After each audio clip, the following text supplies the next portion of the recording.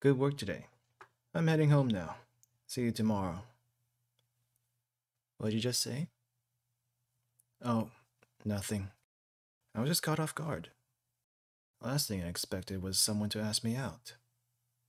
I'm not quite sure how to respond. Can we talk about this somewhere else? Where do you usually go for coffee?